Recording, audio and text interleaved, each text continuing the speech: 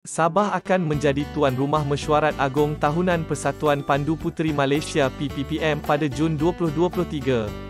Mesyuarat akan dirasmikan oleh Raja Permaisuri Agong, Tunku Azizah Aminah Maimunah Iskandariah selaku penaung PPPM dan akan diadakan secara serentak dengan persidangan Pesuruhjaya-Pesuruhjaya PPPM peringkat kebangsaan di sebuah hotel terkemuka dari 22 hingga 25 Jun Majlis Perasmian akan diadakan di Pusat Konvensyen Antarabangsa Sabah SICC pada 22 Jun.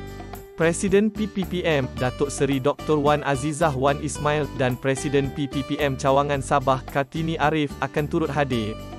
Mesyuarat ini akan membincangkan pelaksanaan program-program PPPM, selain penyampaian Anugerah Pandu Puteri Diraja, Anugerah Pesuruhjaya-Pesuruhjaya Terbaik dan anugerah kepada ahli-ahli atau orang perseorangan yang aktif dalam memberi khidmat cemerlang kepada persatuan.